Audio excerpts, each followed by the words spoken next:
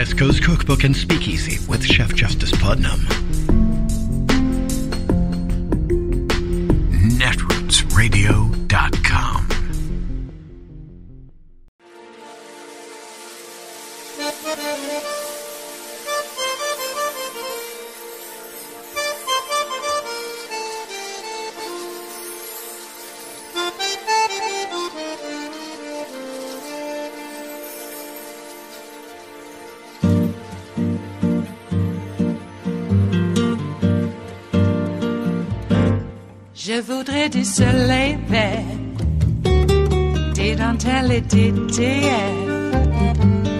Des photos de bord de mer, dans mon jardin d'hiver.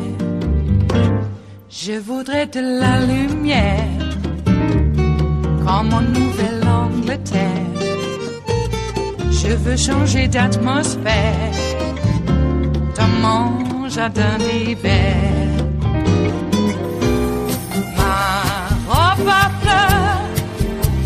La pluie de novembre. Tes mains qui courent, je n'en peux plus de t'attendre. Les années passent, il est loin, là je tombe. Nul ne peut nous entendre. Je voudrais du Fred Astaire. Well, Senator Patrick Leahy has seen it all, and he's never seen anything like what he saw today in the Senate Judiciary Committee. Senator Leahy is the longest serving member of the current Senate. He is the longest serving member of the Judiciary Committee. He is a former chairman of the Judiciary Committee. He has attended more Supreme Court confirmation hearings than anyone else in the Senate. And he was outraged by what he saw in the hearing this morning when Republican Lindsey Graham violated the time limit on senators speaking, not by a minute or two, which is common, but by a full 10 minutes, in addition to the 20 minutes that each senator was allowed to speak. And in those 10 minutes, Lindsey Graham launched a rage filled rant. That's an abrogation of everything the Senate should stand for. Uh, you had a Republican member who went way over the time allotted to him, uh, ignored the rules of the committee, badgered the nominee, would not even let her answer the questions. Uh, that, that I've never seen anything like that. I've been here 48 years. Here we have a highly respected and respectable nominee and to be treated that way. I, I don't know what the motivation might be, uh, what political motivation is, but to see the badgering of this woman uh, as she's trying to testify, I thought was outrageous. Pat Leahy has never seen anything like it. And I have never seen Pat Leahy so outraged. Lindsey Graham voted for Judge Ketanji Brown Jackson last year in her confirmation to the second most important court in the country, the D.C. Circuit Court of Appeals. Every single objection that Lindsey Graham raised today to Judge Jackson's record was in her record when Lindsey Graham voted to confirm her last year without saying a word about those issues. Chairman Dick Durbin may have allowed Lindsey Graham to seize control of the hearing for 10 full minutes in violation of the rules because the chairman hopes that by indulging Lindsey Graham, he can win Lindsey Graham's vote once again for Ketanji Brown Jackson. Doesn't look like that's going to happen, but if it does happen, which extremes, seems extremely unlikely, then Chairman Durbin did the right thing today. Anything for a vote.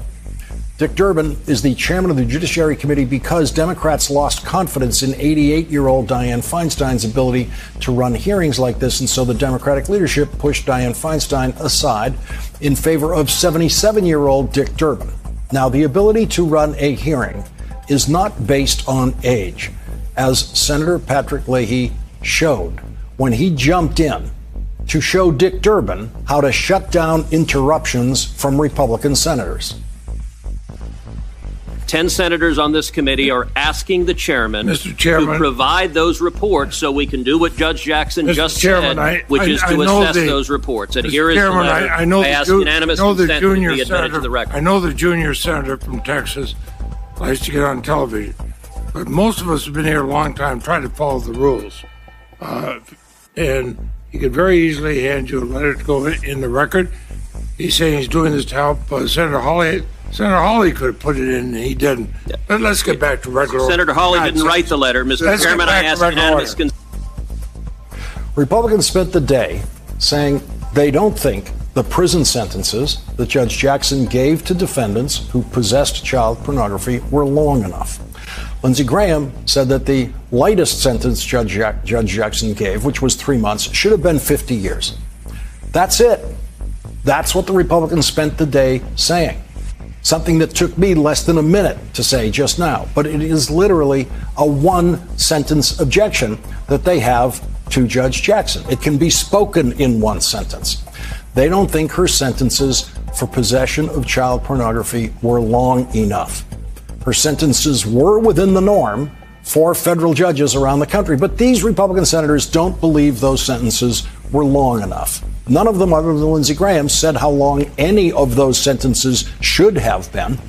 The potential candidates for president on the committee spent the day interrupting Judge Jackson, not allowing her to finish answers, and Senator Tom Cotton said he did not believe one of her answers. He was accusing Judge Jackson of lying under oath. Republicans were treating the hearing as they do every event that has cameras as a campaign fundraising event. And through it all, Judge Ketanji Brown Jackson persevered. She learned how to persevere when facing challenges a long time ago. Cory Booker is one of the most bipartisan Democratic senators. He publicly refers to Republicans by name as friends. He publicly compliments some Republican senators. And when he, his turn came today, Cory Booker had no questions, really. He just offered an extraordinary, extemporaneous set of remarks in which he commended Judge Jackson for climbing the mountain she climbed to be now just one step away from the top of the judicial mountain in the United States. We will bring you most of what Senator Booker had to say later in this hour. We're just going to roll that videotape later and let you see that moment that first brought Judge Ketanji Brown Jackson to tears today, tears of appreciation for the people who Senator Booker said made this day possible. But that wasn't the last time that Judge Jackson fought back tears today. The junior senator from California, Alex Padilla, is the second most junior Democratic member of the committee. And so he always speaks toward the end of the hearings. Alex Padilla's parents came to California from Mexico and watched their son go off to college on the other side of the country at MIT, the most selective science oriented university in the world. He told Judge Jackson today that just as she was discouraged by some from applying to Harvard, he was discouraged by one of his high school teachers from applying to MIT. And then he asked her what she says to young people who doubt that they can achieve what she has achieved. I hope to inspire people to try to follow um, this path because I love this country, because I love the law.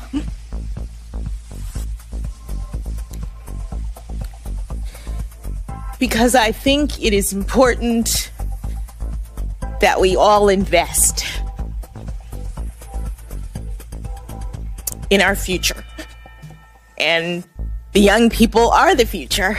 And so I want them to know that they can do and be anything. And I'll just say that um, I will tell them what uh, an anonymous person said to me once. I was walking through Harvard Yard my freshman year. As I mentioned, I went to uh, public school and I didn't know anything about Harvard until um, my debate coach took me there to enter a speech competition. And I thought, this is a great university. It was basically one of the only ones I'd seen. And I said, maybe I'll apply when I'm a senior. But I get there and whoa, so different. I'm from Miami, Florida. Boston is very cold. Um, it was, um, it was rough. It was different from anything I'd known. There were lots of students there who were um, prep school kids, like my husband, um, who knew all about knew all about Harvard, and, and that was not not me. And I think the first semester I was really homesick. I was really questioning um, do I belong here? Can I can I make it in this environment? And I was walking through the yard in the evening and a black woman I did not know was passing me on the sidewalk and she looked at me and I guess she knew how I was feeling. And she leaned over as we crossed and said, Persevere. I would tell them to persevere. It is Thursday, the 24th of March of 2022, and you are in West Coast Cookbook and Speakeasy. I am your chef de cuisine, Justice Putnam. Gunner, the English Bulldog, is our snoozing sous chef. And our daily special is Metro Shrimp and Grits Thursdays, a little bit of jambalaya, a little bit of spice in your life. And don't we need it? Um, yes. Uh, Judge Jackson's uh, confirmation hearing was indeed treated like a campaign fundraiser uh, by the repu- repugs on the committee. And I'll tell you why. Because it was a campaign fundraiser for them. They uh, will be slicing and dicing the clips up for their own nefarious uh, reasons. And we know what those reasons are. So I'm still appalled that insurgents, insurrectionists, fist bumping seditionists are allowed to be on the Judiciary Committee, let alone elected office. All right. Well, uh, speaking of which, if you run for elected office and you are part of a presidential commission, that is a violation of the Hatch Act, and you have to stop being on that presidential commission. Otherwise, you're terminated. Emmett or Mehmet Oz and Herschel. Yeah. So get out. If you're running for office, get out. All right. You know, the Hatch Act was violated so many times over the four years of Trump that it was considered to be just, I don't know, one of those little minor inconveniences that we have to report because nothing was done about it. And even when they tried to do something about it, they couldn't. Sort of like what's happening with the Manhattan DA. yeah. Somebody put a horse's head in that guy's bed, woke up and went, Oh my God, that's my favorite horse. And he doesn't even own horses. But it was enough to scare the shit out of him. You know, when you're made an offer you can't refuse, you can't refuse. No matter what it looks like. And you know what it looks like? It looks like exactly what it is. Pomerantz is not some junior prosecutor with with a, uh, a peak ambitions for greater things. He's already done greater things. He quit because they had multiple felonies they were going to charge Trump with, or should I say he resigned? Multiple felonies. And Bragg said, nah, there's not enough there. And Bragg had just been elected and put into office. All right. First, you had uh, Vance. All right. Now you got Bragg. So, are there two kinds of justice in America judiciary? I, there's only one kind of justice when it comes to me. I am what I am. But there are actually, I think, there's not two kinds of justice in our judiciary. I think there's a few different kinds of justices or justice. Um, and when it comes to Trump, it seems to be that that guy gets away with it a lot, doesn't he? Mm-hmm. The corruption that has manifested through these many decades, I think, tracks quite nicely with the rise of the Heritage Foundation, the Federalist Society, ALEC, and the entrenchment of dark money groups in the form of corporate America, who for some reason tax towards the fascists, just like the Nazis and fascists of old. They would not have been able to survive if it had not been for big business. When you hear Burgermeister, think of all those McMansions in the Yorba Linda Hills, for instance. Okay? That's what we're talking about. That is how fascism gets its foot in the door, and the people don't want to give up their things. And their things are much more important than the gossamer thin idea of representative democracy, which takes an agreement among individuals to live in a community and to make decisions as a community. The repugs do not want us in their community because we are subhuman and who are we? We are liberals, Democrats. We have no right to rule. That's why they do the things they do. Now, if we were to turn the tables back on that, would that mean that we become like them? I know the argument. But you know, they can't even handle equality right now. Equality to them means that they are lesser. If someone, quote, lesser is raised to their level, they are not equal anymore. They are only equal if they can dominate. I don't know how that works in terms of logic, but it works for them. Always has, and it looks like it always will.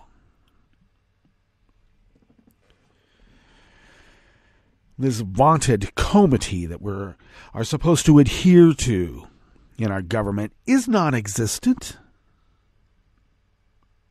when the other side considers us to be such subhumans that they can just change the law on a whim.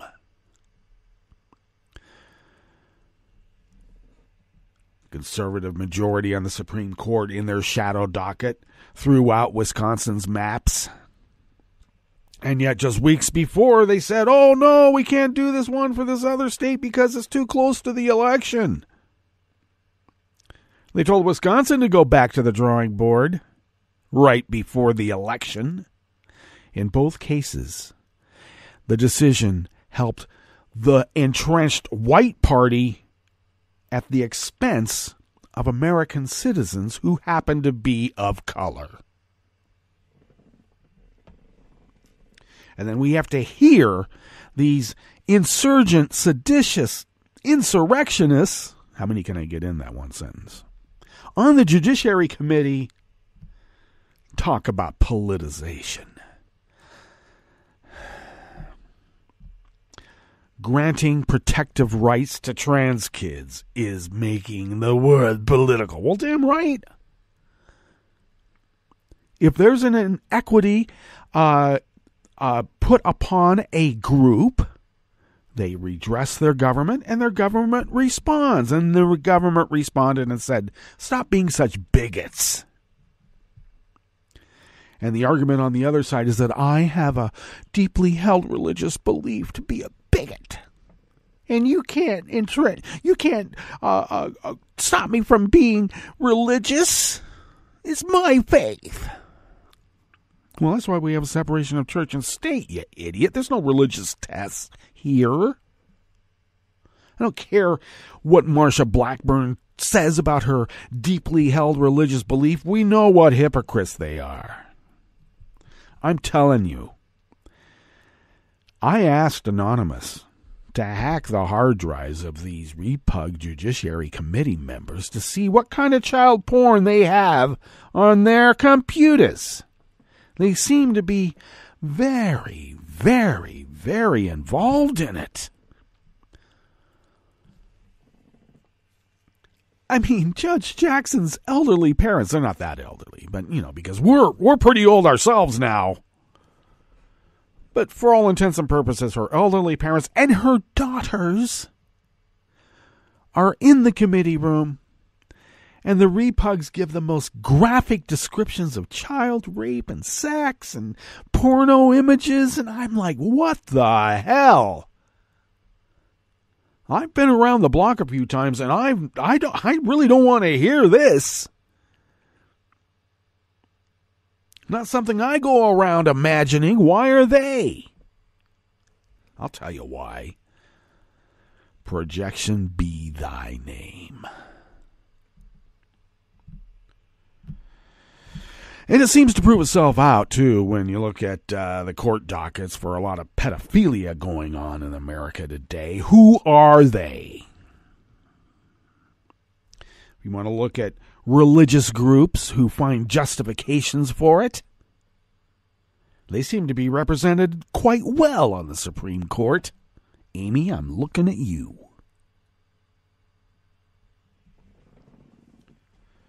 Is that a scurrilous charge? I don't think so. Look into it.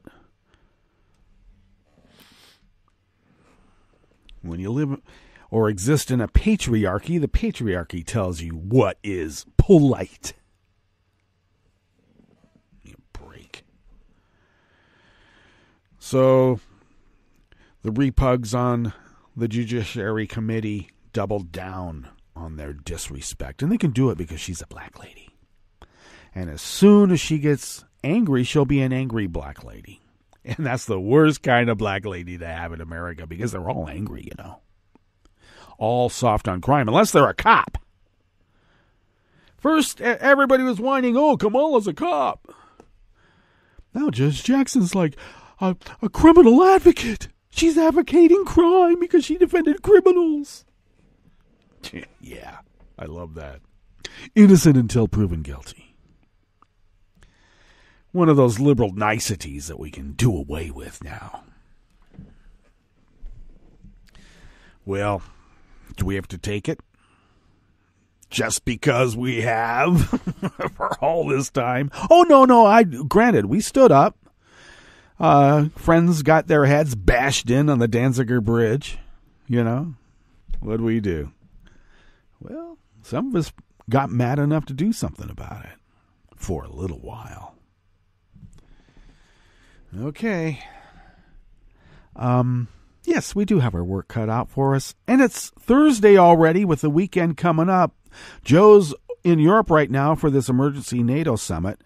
Um, my prediction is that uh, I think that they're going to be quietly mobilizing troops and material because I think they have it on the uh, low low that uh, doubling down to Putin doesn't mean doubling down on just Ukraine.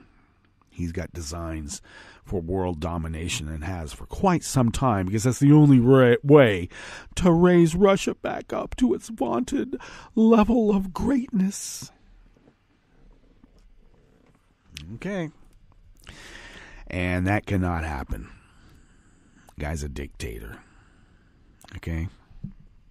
I know that there are many here, like the Coke Company, the Koch brother company, not necessarily Coca Cola, but they're involved too. But I'm talking about the Kochs and others who have no qualms about doing business with an entity, a state who has declared war on us you know, there used to be a word for companies and individuals who did that. And there were ramifications for it. Well, I guess we can work to make sure there are ramifications for it.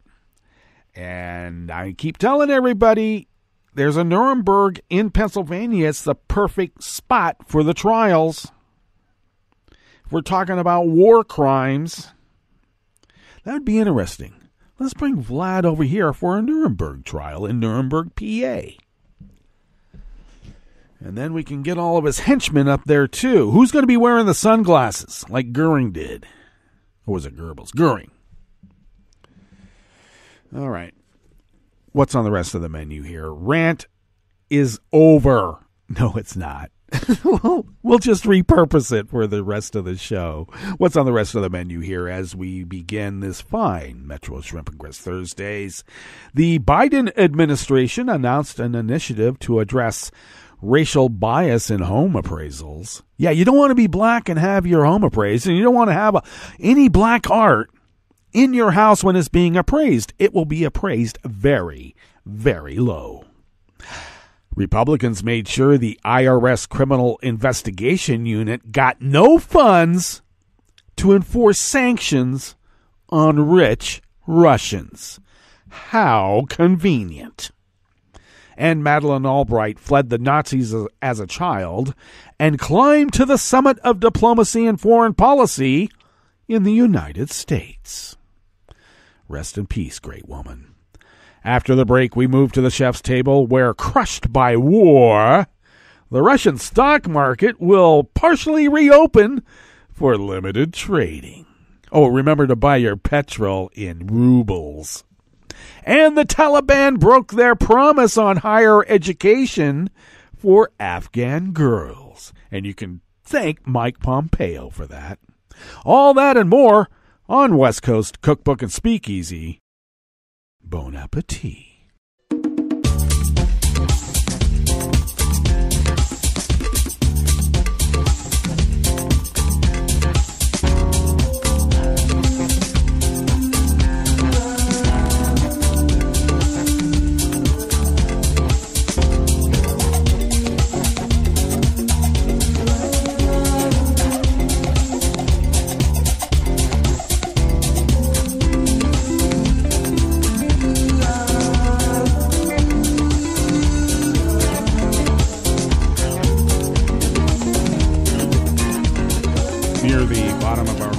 At netrootsradio.com. To the right of the page is the chat room link, and the chat room is monitored by Kelly Lincoln. Thank you, Kelly.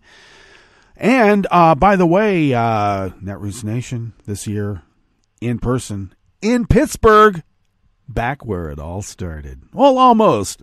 But anyway, uh, Kelly's getting her press passes, and we're going to have our presence on Radio Row, even though that doesn't exist anymore.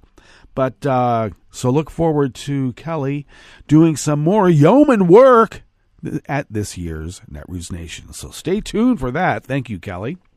Across the page from the chat room link uh, to the left, near the bottom of our homepage at netrootsradio.com, is the link to our Patreon page. And could you send us what you might spend on an espresso type coffee drink uh, once a month? That would really help us pay our bills and uh, fly under the radar as we have been doing for the last 11 years of 24 7, 365 continuous resistance broadcast radio. And we have been able to do that because of your generosity. And I got to be honest, uh, we we need it and more of it from more of you. so don't let just a few take on the burden. And uh, we dig deep into our wallets too. And um, but we need the help that we can get from you folks as well. So thank you for the help, and thank you in the future for help in the future. If you would like to follow Netroots Radio on Twitter, do so at Netroots Radio. Tom takes care of that, and we love the fact that Tom does that for us and everything else. Thank you, Tom. Follow me on Twitter at Justice Putnam. I post the show notes and links diary on Daily Kos about 10 minutes before showtime. And then I try to get that posted up on Twitter and those other social media platforms. You know who they are. Follow the show on Twitter at Cookbook West, and please do pick up podcasts by way of Spreaker, Stitcher, TuneIn, iHeart, YouTube, iTunes, etc., etc., etc., wherever, wherever podcasts can be found and of course the deep archive of not only West Coast Cookbook and Speakeasy, but all of the Netroots radio produced shows, shows over these so many years can be found uh, at the Internet Archive at archive.org. Look for the Netroots Radio Library. Alrighty. This uh, first offering here in the Bistro Cafe of West Coast Cookbook and Speakeasy is out of the American Independent by the great Oliver Willis. On Wednesday, that was yesterday, the Biden administration announced a new initiative designed to combat the effects of racism in the process of home appraisal. Experts say disparities in the results of appraisals based on racial bias are widespread and have led to the loss of billions of dollars in value for black communities. The action plan was released by the Interagency Task Force on Property Appraisal and Valuation Equity, co chaired by Housing and Urban Development Secretary Marcia Fudge and White House advisor Susan Rice, who is the director of the U.S. Domestic Policy Council. Under the plan, multiple government agencies will work in concert to increase oversight of the property appraisal industry, as well as create a federal rule aimed at setting a non discrimination quality control standard as part of a forthcoming proposed rule establishing quality control standards on automated valuation models known as AVMs. And that's used in determining home values. The plan also calls for the expansion of complaint hotlines at HUD and the Consumer Financial Protection Bureau for use by consumers as part of, of quote, concrete efforts to empower homeowners and home buyers on effective steps they can take when they receive a valuation that is lower than expected. End quote. The task force was an, announced by President President Joe Biden on the 1st of June of 2021 in a speech marking 100 years since the Tulsa Race Massacre, during which the affluent black neighborhood of Greenwood in Tulsa was attacked, looted, and burned by white mobs. Biden said the task force was part of the expanded efforts targeted toward black wealth creation that will also help the entire community. Wait until the repugs hear about this. This is critical race theory gone crazy. Everything's so woke. They use it because they really want to use the N word, don't they? A 2021 study by the Federal Home Loan Mortgage Corporation, otherwise known affectionately as Freddie Mac, of appraisals issued between 2015 and 2021 found that bias in home appraisals was pervasive and system, systematic, systematically led to or I'm sorry, systemically led to substantially lower home values within black and Latino communities. Junia Howell, who teaches sociology at the University of Illinois in Chicago, told Bloomberg individual bias is definitely affecting these things, but it's actually a structural issue. Across different appraisers who have different backgrounds in different counties, we're seeing this inequality across the board, really demonstrating that it is deeply embedded in the ways and methods of appraising. Uh, let's see. Car- Carlette Duffy, a black woman living in Indianapolis, filed complaints against mortgage companies with HUD in May of 2021, alleging discrimination discrimination on the basis of race. After her home was appraised at 125 and 110,000 bucks, Duffy took steps to conceal her race from the next appraiser including hiding photos of herself and her family and enlisting a white friend to pose as her brother when the appraisal was being made. The third appraiser valued the home at 259,000 bucks, more than double the original estimated value. Now, the Biden administration is making other efforts to address systemic racism in the U.S including provisions in the recently enacted Infrastructure Investment and Jobs Act that seeks to undo racist decisions embedded in past road and neighborhood planning.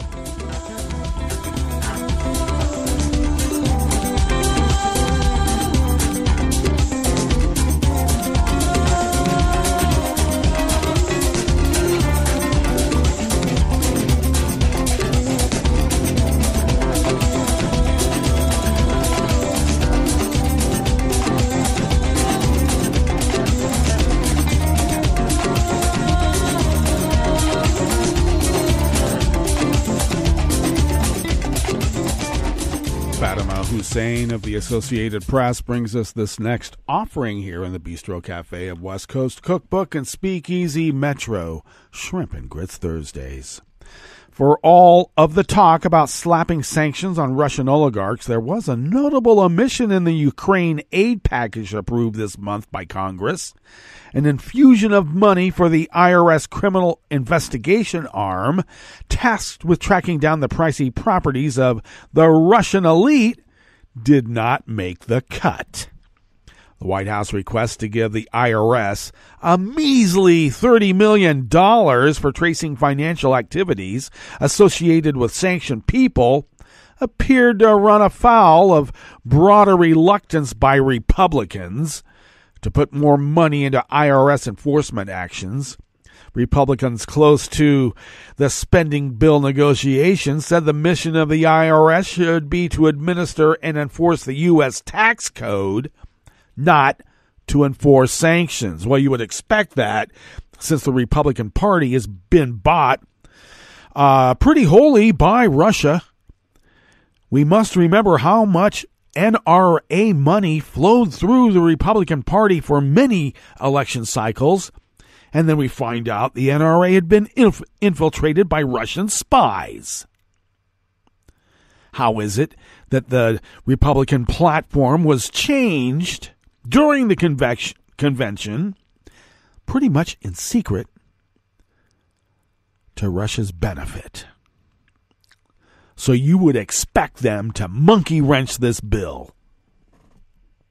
Many of the sanctions levied on Russia's elite and its central bank are imposed by the Treasury Department and its various enforcement arms, including those at the IRS, along with the newly formed Klepto Capture Group led by the Justice Department. The IRS plays a major role in imposing sanctions on oligarchs and supporters of Putin. A lack of funding for the IRS Criminal Investigations Unit damages the ability of our law enforcement community to do its work, said Danny Glaser, a former Treasury Assistant Secretary for Terrorist Financing and Financial Crimes. The IRS criminal investigations, he said, are some of the best financial investigations in the world. It is important that they are at full strength. In its funding request to Congress, the White House said the measly 30 million bucks would expand IRS criminal investigations capability to find links between various businesses, conduct digital asset training, and identify the ownership of assets owned by oligarchs and others linked to Putin, and the Republicans voted it down because they know they would be caught up in this investigation.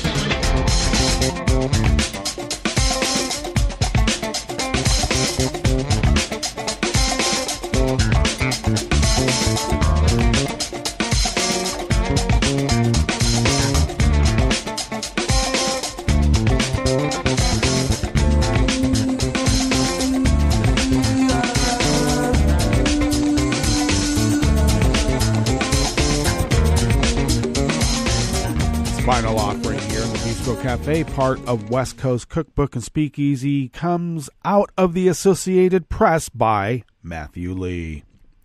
Madeleine Albright fled the Nazis as a child and climbed to the summit of diplomacy and foreign policy in the United States, breaking the glass ceiling as the first female Secretary of State and setting the pace for other women to follow.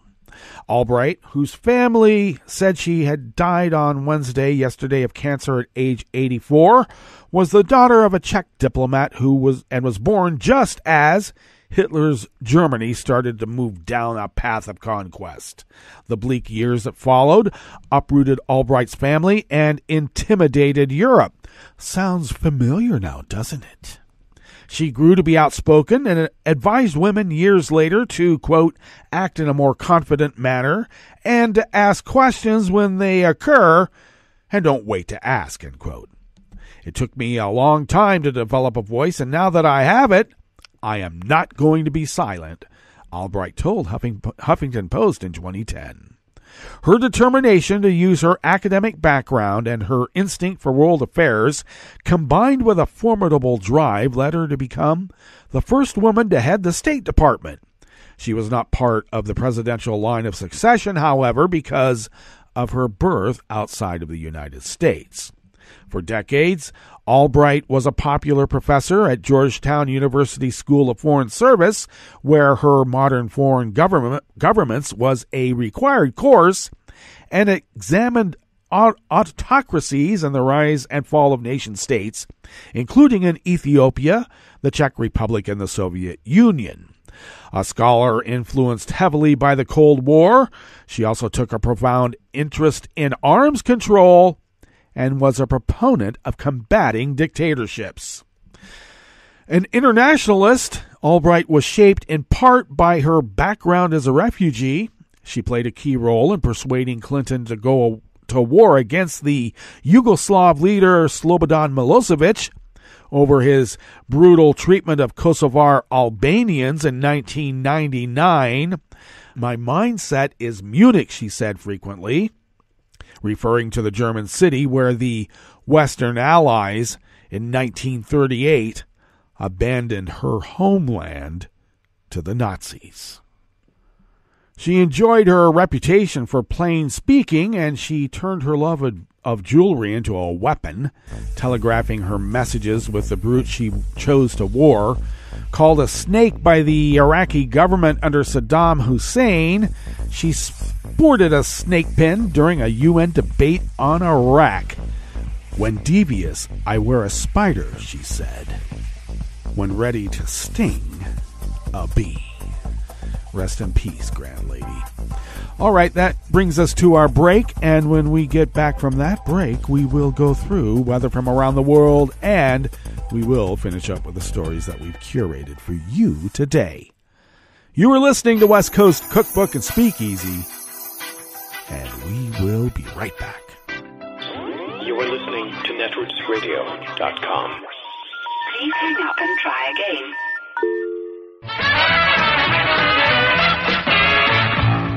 From a point at sea to the circles of your mind, a new force is at work for planetary transformation.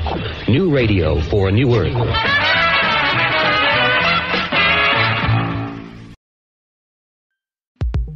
This is Scientific American's 60 Second Science. I'm Christopher Intagliata. Within a few decades, global temperatures are expected to climb to 1.5 degrees Celsius above pre industrial levels.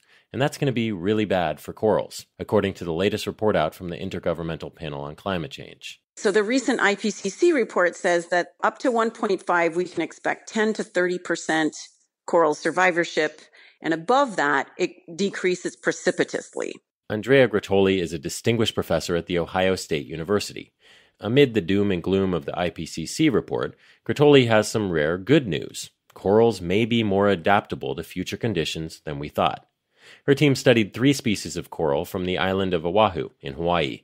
They put them in tanks with either heat stress, more acidic water, or both. And what really matters in this study is the one with both increases in temperature and ocean acidification, because that's exactly what's happening on reefs now. 22 months later, they assessed the winners and losers, and they found that on average, more than half the corals survived, even after being punished with those warmer, more acidic waters, the kind they'd face under 2 degrees of global warming. The corals that survived, two of the three species were actually physiologically performing normally. They were doing more than surviving, right? They were coping, they'd acclimatized, they were doing well. The results appear in the journal Scientific Reports. Grottoli says the study provides hope the world's corals may be more resilient than we thought, especially since one of the Hawaiian species they studied is widespread around the planet. But will this good news motivate world leaders to actually rein in warming? Well, corals may be able to wait just a little longer to find out. Thanks for listening. For Scientific American's 60 Second Science, I'm Christopher Intagliata. Hi, it's Tom. Could we humbly suggest your donation to netrootsradio.com? All we've got to run this 24 hour powerhouse of progressive resistance radio is what comes out of our own wallets. And you, you are our biggest donor. And it doesn't take much $3, $5. Just go to the bottom of our netrootsradio.com page and hit our secure donate button. Heck, you can even make a recurring contribution. So donate what you'd like at the bottom of our netrootsradio.com's homepage because you are our biggest donor. netrootsradio.com. Together, we are Resistance Radio.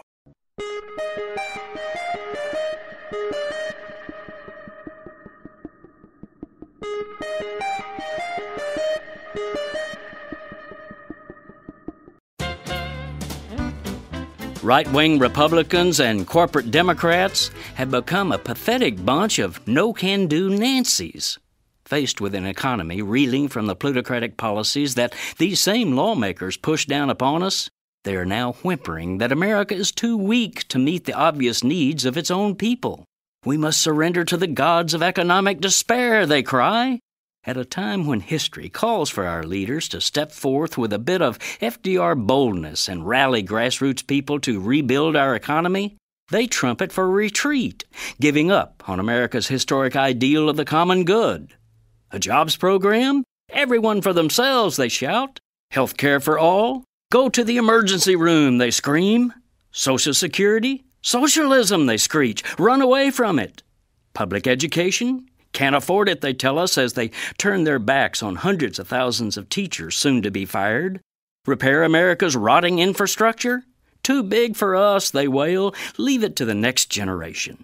Wagging tea bags rather than picking up the tools of real recovery, the woeful voices of American failure insist that they speak for the people. Hogwash. Americans are a strong, community minded, democratic spirited, can do people. Indeed, the latest Gallup poll shows that 60% of the public favors, quote, additional government spending to create jobs and stimulate the economy. But we must balance the budget, whine the naysayers. Of course we should, and big majorities say we should do that by putting people to work, taxing the super rich to pay their fair share of Social Security and other public needs, as well as by slashing the $12 billion a month we're spending for wars in Iraq and Afghanistan. This is Jim Hightower saying it's time for these so called leaders to stop whining and catch up to the people. Elizabeth Cady Stanton was one of the chief organizers of the 1848 Seneca Falls Convention, the first convention in the United States dedicated exclusively to women's rights. She also wrote the Declaration of Sentiments, the seminal document of the women's movement that set the agenda for the movement for years to come. Like so many other women's rights activists of her era, she first became involved in the abolitionist movement. Stanton attended the 1840 World Anti Slavery Convention in London, where she met Lucretia Mott. The two decided to organize a women's rights convention in the United States in part because they had been barred from fully participating in the London Convention, being relegated to simply watch the proceedings on account of their gender. Over the years, Stanton collaborated with Susan B. Anthony, and the pair wrote prolifically, making a lasting impact on the women's movement. Both Stanton and Anthony advocated for extending the right to vote to women with the 15th Amendment, and were disappointed when it did not. In response, they formed the National Woman Suffrage Association in 1869. Elizabeth Cady Stanton is remembered for her persuasive oratorical skills, the power of her writing, her tireless advocacy of the right to vote for women, and reform of laws that kept men and women on an unequal footing. This has been 60 Second Civics, a podcast of the Center for Civic Education. I'm Mark Gage.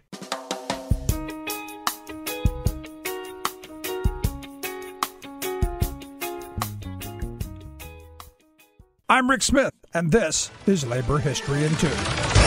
On this day in labor history, the year was 1974. It was the final day of a groundbreaking gathering of more than 3,000 women union members in Chicago to found the Coalition of Labor Union Women, or CLUW. The union women had come together for the purpose of increasing their voice in the labor movement. Women from 58 unions and 41 states joined the conference. Nearly 2,000 of the attendees were rank and file members. For many of them, the Chicago gathering was their first major labor conference. They heard a keynote address by Addie Wyatt. Addie Wyatt was the first African American woman to hold a top office in an American labor union. She was elected vice president of her meatpacking local in 1953. Addie's speech inspired the women. They chose her to serve as the first CLUW vice president. They selected Olga Madar as president of CLUW. Olga had entered the United Auto Workers Union at the Ford Willow Run bomber plant during World War She became the first woman to serve on the UAW executive board. With these two seasoned labor activists at the helm, CLUW became an important force in U.S. labor. The women attending the founding convention agreed on four key goals. First was to promote affirmative action in the workplace. Second was to strengthen the role of women in unions. Third, to organize the unorganized women. And their final objective was to increase the involvement of women in the political and legislative process. Since its founding, CLUW has supported efforts for pay equality, parental leave, and childcare. Today, CLUW continues to encourage and mentor future women labor leaders and works to involve more women in the political process. Labor History in 2 brought to you by the Illinois Labor History Society and The Rick Smith Show.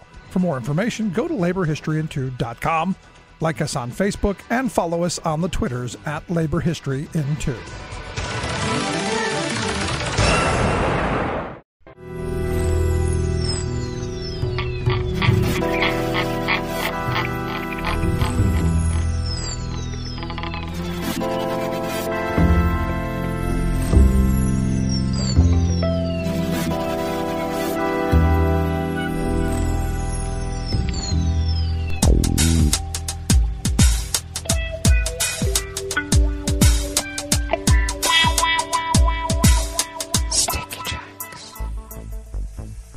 You for accompanying us here to the chef's table at West Coast Cookbook and Speakeasy. Metro Shrimp and Grits Thursdays. We always begin weather from around the world along the banks of the Rogue River and the Rogue River Valley of southern Oregon on the west coast of the continental United States of America, where it is currently 52 degrees Fahrenheit, expecting a high in the mid 70s again, which was pretty nice yesterday. Will be partly to mostly cloudy throughout the day, and winds will be light and variable, as they will tonight with some clouds passing through. Lows will be in the mid 40s, and then some sunshine and clouds mixed tomorrow with highs in the low 70s. Winds will remain light and variable. Confirmed cases of coronavirus in Jackson County in the southern part of Oregon have risen as expected. Even though we're taking off our masks, they still rise. Confirmed cases are now standing at 424,087 infections confirmed, and deceased have risen by three, and we now stand at 503 dead. Oh, here's some good news. Pollen is rated as none right outside the window here in Rogue River proper, and the air quality index for the region is good at 26 parts per million, but the daytime UV index is moderate and has ticked up even another level to level 5. Barometric pressure is rising at 30.16 inches. Visibility is at 6 miles and relative humidity is at 80%. We're expecting some rain uh, towards uh, the weekend, so the end of the weekend. So we'll see how that goes. Hey, I was able to get weather from around the world to work on the Weather Underground. I made uh, a new account. I don't know why they made me make a new account, but I made a new account, and all of my favorites would not stick. So I had to log out as just a visitor, and now all of my favorites are sticking. As an anonymous visitor. Who knew? Well, weather from around the world is brought to you by a crowd of crowdsourced weather stations that a crowd crowdsources from around the world. London is 66 and sunny. Paris is 69 and sunny. Rome is 67 and fair. Kiev is 45 and mostly cloudy. Kabul is 53 and clear. Hong Kong is 66 and mostly cloudy with heavy wind. Tokyo is 47 and clear. Sydney, Australia is 65 and cloudy. San Francisco, California is 47 and partly cloudy. And New York, New York is 42 degrees Fahrenheit and cloudy. And that is weather from around the world, brought to you by a crowd of crowdsourced weather stations that a crowd crowdsources from around the world.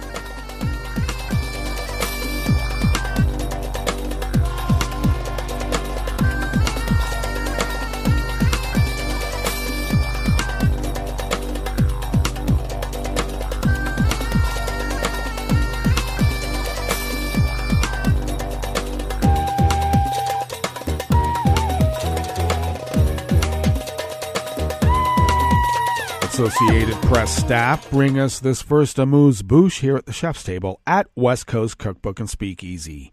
The Russian stock market opened today, Thursday, for limited trading under heavy restrictions for the first time since Moscow invaded Ukraine, coming almost a month after prices plunged and the market was shut down as a way to insulate the economy. Trading of a limited number of stocks, including energy giants Gazprom and Rosneft, took place under curbs meant to prevent a repeat of the massive sell off on February, February 24th that came in anticipation of Western economic sanctions. The significant restrictions on trading underline Russia's economic isolation and the pressure the financial system is under despite central bank efforts to curb market plunges. Foreigners could not sell and traders were barred from short selling while the government has said it will spend 10 billion on shares in coming months, a move that should support prices. A U.S. official called the severely restricted market a charade, with only some listed shares trading and Russia making it clear it would pour government resources into artificially propping up the shares of companies that are trading. This is not a real market and not a sustainable model, which only underscores Russia's isolation from the global financial system. Daleep Singh, a deputy national security and economic advisor to President Joe Biden, said in a statement.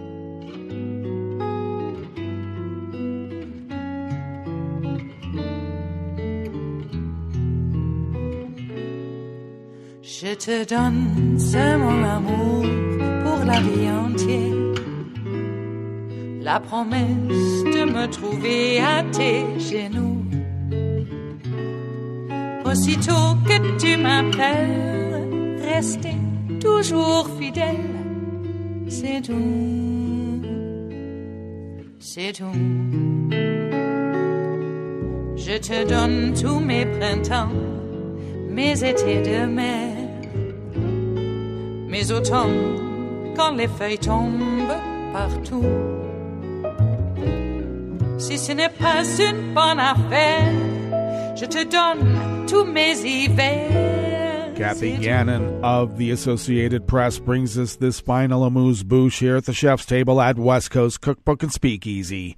Afghanistan's Taliban rulers unexpectedly decided against reopening schools yesterday, Wednesday, to girls above the sixth grade, reneging on a promise and opting to appease their hardline base at the expense of further alienating the international community.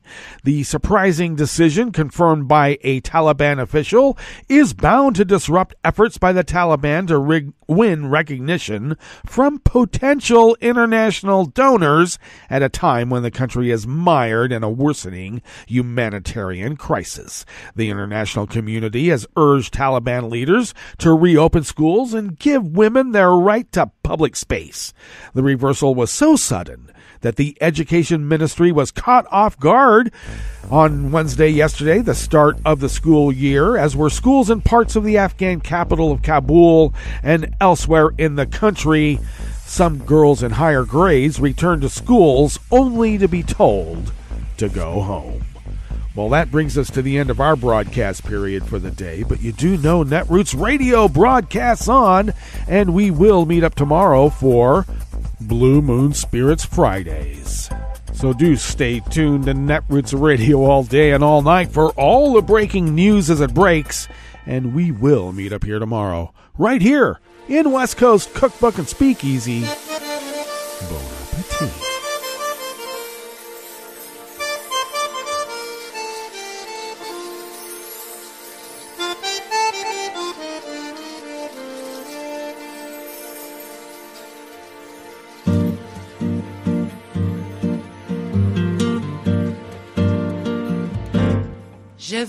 Soleil vert, des dentelles et des théères, des photos de bord de mer, dans mon jardin d'hiver.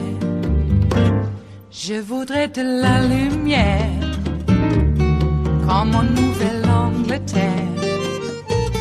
Je veux changer d'atmosphère dans mon jardin d'hiver. Fleurs sous la pluie de novembre.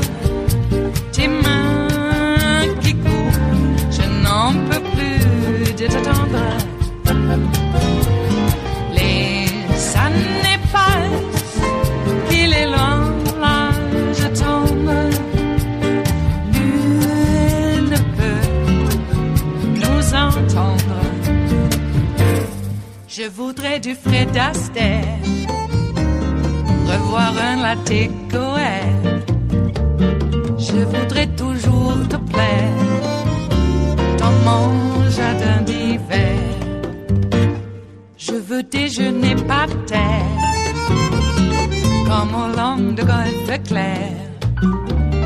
T'embrasser les yeux ouverts dans mon jardin d'hiver.